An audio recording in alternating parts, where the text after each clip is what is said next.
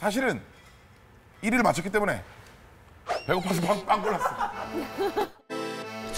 빵이나 하나 먹자. 아니면 한라봉 먹던가. 아, 빵 맛있죠? 빵. 빵 맛있죠? 배고파. 이게 어디 건데 이게? 파주.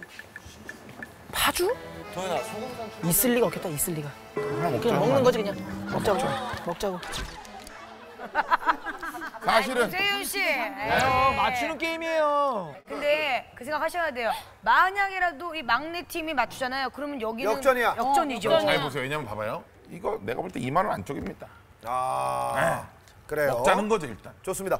지금 어찌 됐든 이유는 너무 배가 고파요. 어, 지금 먹고 바로 먹을 수 싶어요. 있는 거. 어, 먹고 싶어요. 결제할 건데 미리 좀 손대면 안 되나요? 아, 안 돼요. 자, 1위 후보 두 팀 동시에 나와주시고. 저 중에 있나 보다. 이 중에 있나 보다. 우리 둘 중에 무조건 있나 보다.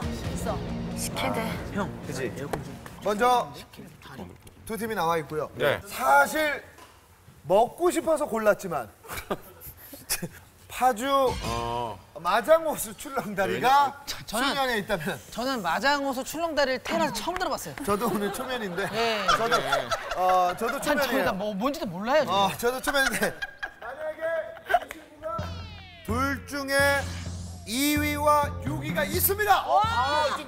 몇 위? 6위? 2위와 6위. 마장다리가 어딘데? 마장다리가 어딘데?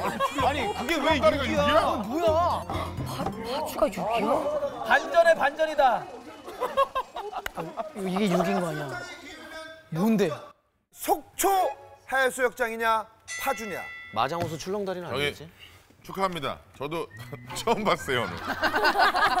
마장, 축하합니다. 마장 호수 출렁다리였나요? 아 축하합니다. 만약에 이게 2위잖아요? 그럼 나는 이번 연도 운 여기다 다 쓴 거.